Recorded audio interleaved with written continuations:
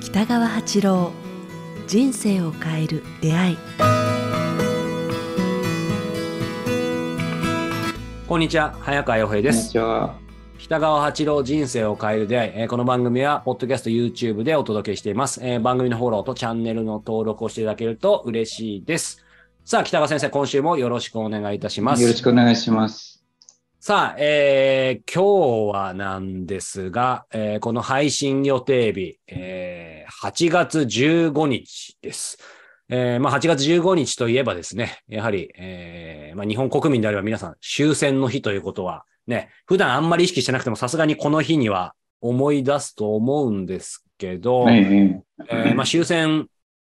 ちょうどだから78年だと思うんですけど、今日はやっぱ終戦、そうですね。私が79だから、そうか。私は昭和19年なんですよね、生まれが。じゃあ終戦の、あの、戦争の1年前に生まれたので、はい。じゃあ、ほぼ終戦とともに先生もい、ほぼイコールだと思うんで、まあね、今日、あのーやっぱり終戦の日に、まあ、せっかく配信っていうのもそうなんですけど、あまりにぴったりなので、やっぱり終戦の日に、まあ、思うこと、感じることっていうのを先生と、あの、まあ、フリートークのような形で、あの、お話しさせていただけたらなというふうに思うんですけど、まあ、まず率直に、終戦の日って、なんか先生、えー毎年あ、あの、もちろんニュースとかね、いろんな報道を目にしてると思いますけど、先生はなんかどんな感じで捉えてらっしゃるのかなってういう。ん。まあ、ちょっと複雑ですね。複雑。はい。その、前の戦争、第二次世界大戦の時は、日本がこう、私たちが、私が小さい時に、うん。アメリカとか共産主義が叩き込まれたのは、その日本人がとても悪い民族だっていうのがずっと あの、あの叩き込まれたんですね。日本人は悪いことをしてきたっていう、こう、うん。そのその戦争というこう罪を犯したっていうような、まあ、それも一部あって、日本人をこう蔑んできた、蔑むという、うーなんか教育をずっと小学校、中学校まで受けたのかな。はい。あの日教組とかいろいろありましてあはい、はいで、それからまあ、かなり時代が変わってきて、だんだん日本人の民族としての誇りというものを最近取り戻すようになって、えっとせまあ、終戦という言葉よりも戦争というものについての考え方は少しこう、私の中で変化しましたね、こう。変化。あの、はい。前はこう、なんかちょっとこう、ウクライナと中国かうら、ん。台湾と中国とか、まあ、ロシアとかいうこうはい地政学的な人類がずっと、私、防衛大学にも行ってたんですけども、ああ、そうですよね。うんはいなんか戦争というものに対するこう感覚がこう少しこう、あのなんて言いますか、うん、変わってきましたね、なんかね、あのいいとか悪いとかは別にして、なんか人間って本当にいつまでもなんか、とりあえずそれ愚かなうん。なんか生物だなっていうかね、うん。なんかちょっとこう悲しい部分がありますけど、そして例えばの話、戦争というこういう捉え方をするならば、まあ、ちょっと愛花さんたちと世代が違うので、ええ。何とも言えませんけれども、やっぱこう平和に暮らしている普通の国をロシアのようにこうあの、襲って領土を奪うという、まあ、単純な構図なんですけども、はい。ということ自体は、あーそういうこうあら戦争っていうのは本当にまだあの国取り物語みたいな感じで、うんあそれは良くないって言いますかね、うんそういう戦争は起こしてはならないなっていうのは、はい。まあ、そこで人が悲しみ、多くの人が死んで、父と母と子供を失い、ね、はい。から今、戦争の仕方も昔とは違って、ミサイルとなんか、あるいは原子爆弾を使うというとこまでロシアが言ってるドローンもですよね。そうドローンもそうですね、その全く手を動かさないで、うん、人間が殺し合うことの、なんか、殺伐たるものと、虚しさと、腹立たさ腹立たささと、そういう正義感とかいうのは、今後、本当にこう複雑にこう絡み合っていって、なんかちょっと、中国やロシアやそういう覇権国、うん。世界を自分のものにしようとしてる国に対してちょっと苛立ちを覚えてますね。でそこでそこから来る摩擦が戦争という形を取るということは断固としてこう許されないなっていう感じがします。それと日本民族はこうそういう国に侵されてほしくないっていうこの文化を失って失いたくないっていうのもこうありますね。失ってほしくないというか私はもう仮に日本がなんかそういう窮地に立った時見落として、でしてこう、そういうことに参加できる年齢ではないんですけれども、なんかこの日本の誇りを持ってこの国を存続させたいっていう気持ちありますね。うん、そういう意味では、こうね、あの、防衛費もね、まあ、ものすごい日本増やして、で、まあ、それに対するいろんな考え方もありますけど、いわゆる自衛に関することとか、まあ、憲法に関することとか、先生、どう考えますか？うん、随分それも変わりましたね。昔はこう、あの、ああの、水素のように、小さい時はね、一切こう、あの、無抵抗な国がいいんだっていうふうに、えー、まあ、ザ・球場みたいな感じですよね。そうです。はい。言ったんだけど、やっぱりやっぱ、水素も、あの、軍隊を持っているように、から私たちも今、日常生活でも襲われたら防衛するのは当たり前っていうふうに私自身も思いますね。だからそれ相応のあ自分がこう、なんていうか、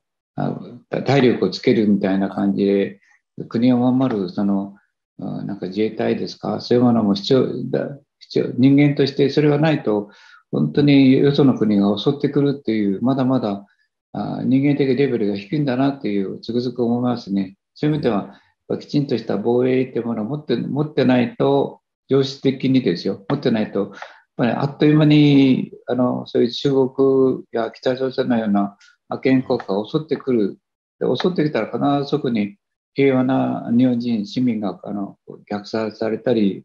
えー、民族の憎しみが生じたりするので、まあ、そういう意味ではきちんと立ち上がって戦うっていう、こう、あの、あれを備えをしておかないといけないということを、まあ、つくづく思います。で、やっぱそれをみんなにやっぱ言いますね。やきちんと防衛費も、あの、今の防衛費もある程度は必要だなと思います。というのは、昔の兵あの武器と違って、今の武器はこうお金がかかるんですね、ジェット機とか。ですよね、桁違いですよね。はい。一発で、まあ、弾、私は防衛団行った時一発、弾一発が、いくらだったかな？忘れましたけど、なんか500円か700円くらいだったかな？それで、あっという間にこう、ダダダダダと打ってしまうだけでもう本当に数万円が太るというか、防衛費があ戦争という形、じゃ戦うという形を取ると、すごくお金がかかる時代に入っているとは思いますね。だから、防衛費の有無だけではなくて、やはりこう、きちんとそれを防衛できるようなシステムと機能と機械と、それからそういうこうコンピューターを使える。今、防衛とかいうのも、ほとんどこうコンピューターの時代、パソコンとかそういう時代に入ってきてるから、そういう志のある人たちが出てきて、国を守ってもらいたいなってのは思いますね。はい。特にあの、早川君たちの方は関東だからちょっと遠いからちょっと感じないでしょうけれども、九州にいると中国と北朝鮮がものすごく間近なんですよ。うん、感覚はちょっと違いますね。ちょっと恐怖感に違い、近いその感覚、近さっていうのを感じます。関東にと東北に行くとね、やっぱりちょっと遠いんですよ。うん、あの、そういう国の位置がね、地政学的な位置がちょっと遠いんですよね。だからこっちの方がよりこう危機感がありますね。なるほどね。はい。まあ、その中で、あの、まあ僕なんかも割と、こう、やっぱり、なんて言うんでしょう。まあ、危機感がそういう意味ではこっちに住んでるからってのもあるかもしれないですけど、いわゆる、まあ、あと広島に逆に住んでたこともあって、やっぱりその平和とか、えー、平和憲法とか9条とかそういった、まあ、理想かもしれないですけど、やっぱりそれ大事だなってずっと思い続けてて、今も根本は変わんないんですけど、ただ先生おっしゃるように、まあ、いい悪いは別として、というかあんまり良くないですけど、やっぱりその自衛っていうのは何らかのね、形で考えざるを得ない時代になってるっていうのは、えー、僕自身もそう思いつつ、あの、ちょっと私事で恐縮なんですけど、あの、この10年ぐらい、あの、日本全国で戦争を体験した方、まあ特攻隊経験したり、原爆、被爆したり、えー、特に、えー、そういう直接的な被害は受けてないけど、えー、住んでいた普通の主婦の方だったり、もしくはこう、どこかのね、フィリピンのレイテ島とかいろんなとこ行って戦った方とかいろんな方に直接お話を聞いているんですよ。で、その時に、やっぱり皆さんがおっしゃいますし、皆さんの話聞いてても感じるのが、やっぱその戦争、特にね、日本が最後もう、えー、負けると分かってても一億最後そう、えー、突撃みたいな、撃沈みたいになった時の空気、えー、その、それを止められなかった空気っていうのは、やっぱり全員伺った方は、それはその時麻痺してたし、まあ今考えたら愚かだったっていうふうにいう話があるんですけど、まあ何が言いたいかっていうと、こう、なんでしょう、防衛することは大事だと思うんですけど、やっぱり、その空気を間違ったね、先の体制の時の最後みたいな、こう日本、もうみんな特攻みたいな雰囲気になっちゃうと、と思うの、そこだけ、なんか、今回も実は今ちょうどこれ見てる方聞いてる方に URL 貼っときますけど、あの特攻隊から奇跡的に生還して今100歳を迎えた中村さんっていう方にお話聞いてきて、その方も特攻隊って、あの、いろんな話あるじゃないですか。志願制だったとか。そうですね。実は志願って言ってるけど実質強制だったみたいな、いろんな話があって、その中村さんにお話聞いたら、彼の隊としては、あの、全然志願制だったんだけど、もうなんか、やっぱり国の、国を守るために特攻隊行くのが当たり前で何の疑問も持たなかった。そうです。まあ、その場の雰囲気はね、空気はそう、そうさで、ノーと言えなかった、だから、まあ、何が言いたいかっていうと、防衛自衛は大事だと思いますし、そこは僕もそう思わざるを得ないんですけど、ただそこから先の、こう、失わなくてもいい命だったり、そういうものをそうさせない、なんて言うんでしょう。まずい方向に行かせないためのその境目というか、まあ僕ら一人一人が結局そうさせないためにちゃんと政治とかも含めて見ていくこと、参加していくことかなと思うんですけど、なんかそのあたり、ちょっと先生がどう考えてらっしゃるかとか、なんか。まあ、私も、あの、若い時は、あの、内閣みたいな感じを持ってたんですけども、あの当時の、私もずっとあそこの知らんとか何回も行ったんですね。で、少年たち、18ぐらいの少年たちに本当涙流して、えー、日本民族の純粋性とか、本当そう、なんか彼らのあの死に対する感謝と、なんかそれと尊敬いただいて、今もあります。でも、その本もいくつも持ってました。の私、飛行機乗りになりたかったので。そうですよね。はい。で、まあ、何が言いたいかというと、うん、あの当時はやっぱあの軍軍属って言いますね、軍隊が昔からの、こう、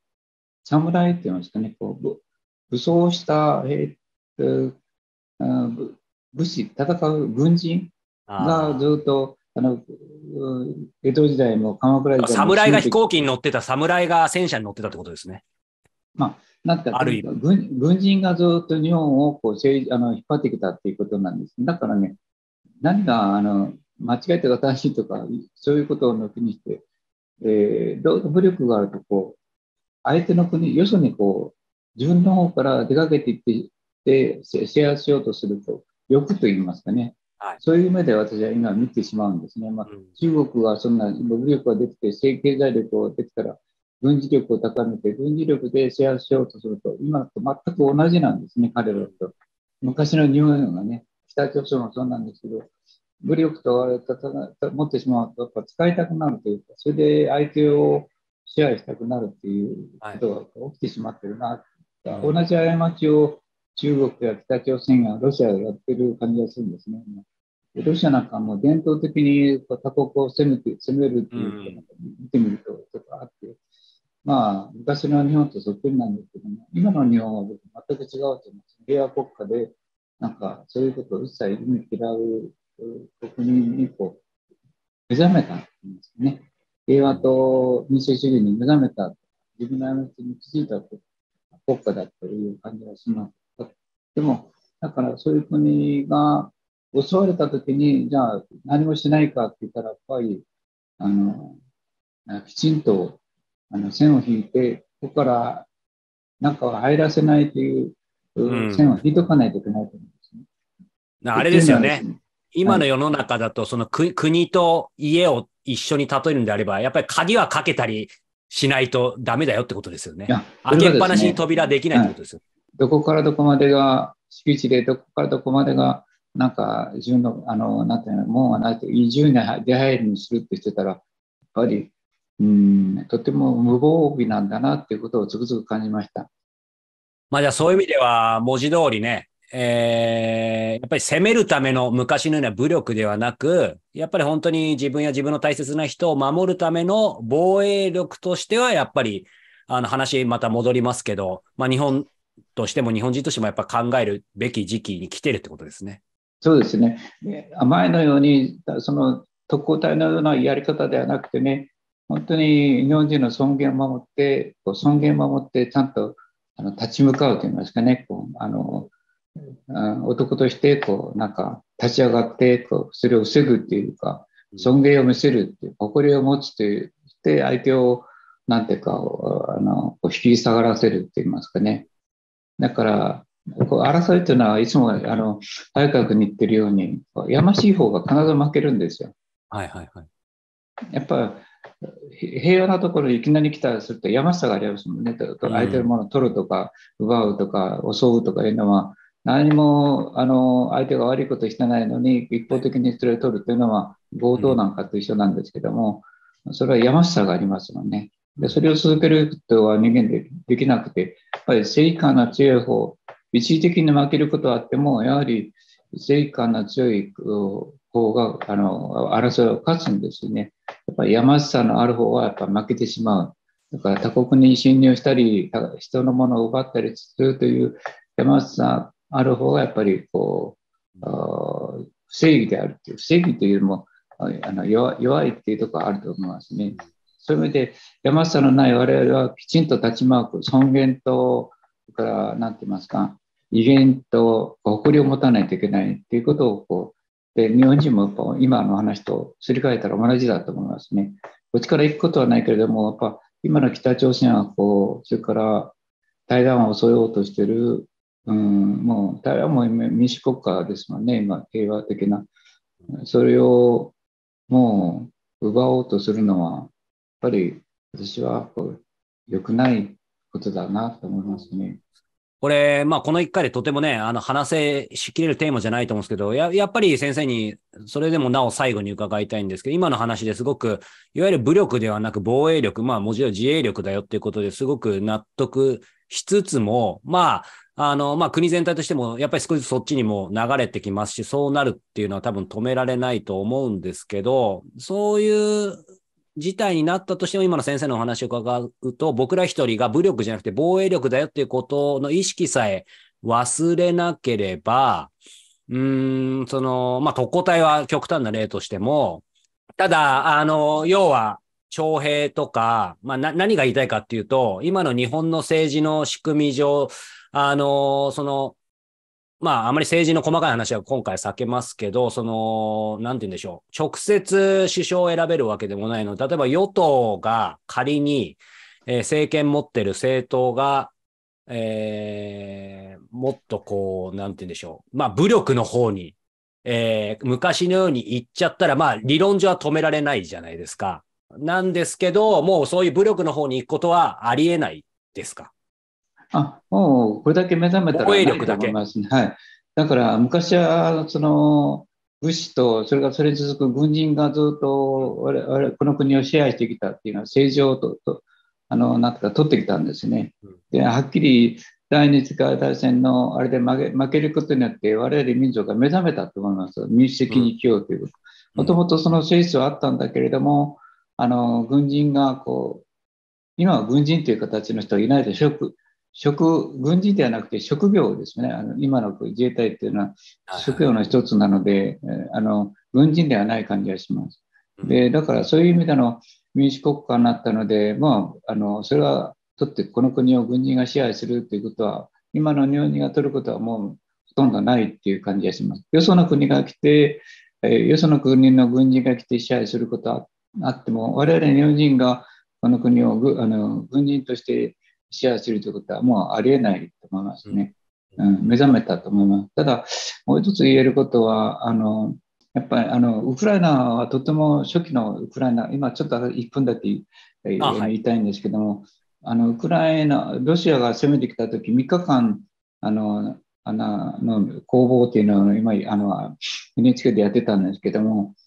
ウクライナは全くそのことをよくしてなくて、あの銃もなかったし、た弾もなかったらしいんですね。はい、それで、えーロシアがそれを見越してバーッと襲ってきたときに、彼らがこう初めて少数の人間が立ち上がって、うんあの本当に小さな銃でこう集めて、猟銃みたいなものを集めて、弾を集めて、古い弾を集めてからで撃ったって、そう抵抗したということだけで、ロシア人が驚いてこうあの侵攻しあの侵入のスピードが落ちたと言いますかね。はいはい。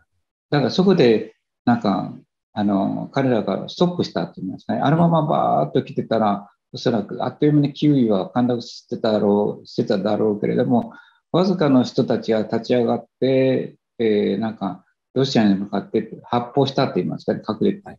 でそれが不思議だけど、彼らは立ち止また立ち止まったんだよっていう、それ見て、えー向こうの戸惑いを感じて、みんながこうそこをこう守ろうというふうに、えーなんか立ち上がったと言いますかね。で、その時にあのある人が政治家が言ってきて言ってたんですね、そのあのウクライナの軍人、政政治家がこう言ったんですね。あのああの1週間でうん。200万ぐらいの人たちが逃げ出した、こう戦争嫌で。みんなこうもうもう怖がってウクライナから脱出したっていう200万人ぐらいの人が。でも反対にもう半分の200万ぐらいの人たちが立ち上がる人がいたっていうんですね。そうですね。でその人たちがあの国を教えてくれたあの長官がいてあ、ウクライナの長官が言ってるんですね。で僕もその言葉を信じてますね。彼に会ったとしても、本当にその武器の有無よりもやっぱり立ち上がるって言いますかね、国を守るという人たちが必ず日本にはいるんだと思うし、あ大部分の人たちはアメリカに逃げたり、えーよその国に逃げたりすると思うんですね。わーっとこう今のうちに助かろうと思って逃げて、それはそれで僕いいと思うんですけども、はい早川君が言ってあの感動したように、自分の命を投げ出して特攻隊に行った人たちもいっぱいいるんですね。その地がこう我々の私にのなんか流れていってその時は立ち上がろうっていう気持ちありますね。これを国を自分の死を通してでも、なんか他の家族や娘たちや子供たちをうん助けて、あの守りたいっていうこう気概といいますかね。それはウクライナの人たちと同じように、大戦の時の特攻隊のあのやり方はあのまずいけど、そのそこにあるこう祖国を守りたいという心は脈々とあるのではないかなと思いますね。だからそれさえ持っていれば、この国を守れると思います。だから、いたずらに特攻隊を否定するのではなくて、確かやり方はそうだけど、彼らが死をもって立ち上がったという捉え方も一部あると思うんですね。あ大部分は嫌だったけれども、本当にこう立ち上がって、特攻隊として自分の命を投げ出して国を守ろうとした人たちも200万いたし、200万は逃げ出したらと同じようにあると思うんですね。だから、その精神がこの国の国をなんか存続させる強さだと思いますね。だから、あのあ特攻隊高潔な精神性みたいなもんですよね。そうです。それを持ってる、まだこの民族いると思いますね。私の中にもありますもん。今でも僕、そういう時は向かっていこうと思いますね。守ろうって思いますもんね。この国を守りたいっていう思います。なんか、私はあの あの戦争体験者なんですけども、あの戦争の状態をずっと見てきたので、北あの朝鮮戦争の時の、うんアメリカ軍も小倉っていう町をね、来てから、戦車とあれをガンガン鳴らしてたのを体験しました。で、米兵がいっぱい来て銃を持ってジープとあれで、えー九州をこうずっとうんする場面にも会いましたね。だから、何年が言いたいかと言ったら、その誇りって言いますかね、それを持って、えー立ち上がる人もうんいるんだっていう、そういうあ祖国愛っていうのは私の中にはありますね。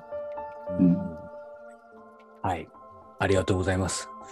えーということで、いかがだったでしょうか？8月15日、まあ、終戦の日ということでね、なんかいろいろ、なんか勉強したり感じ入りさせられつつですね、えーまた、えーお話をえー今後も伺っていけたらと思います。さあ、えーこの番組で引き続き皆様から北川先生のご質問を募集しております。えー詳しくは概要欄をご覧ください。そして、えー名古屋での勉強会引き続き開催、そして募集しております。えー第4項は、えー来週8月23日、えー健康と長寿への歩み、そして、えー最終第5項は9月20日、新しい価値観に目覚め、素敵な経営者となるということで、えー途中からの参加、えーそして振り替えも今後できますので、ぜひこちら、えーご参加いただけたらと思います。そして、えー第2回長野断食会も10月22日から2泊3日、えー上稲かやぶきの館で開催されます。定員がございますので、お早めにこちらもチェックしてみてください。ということで、北川先生、今週もありがとうございました。ありがとうございました。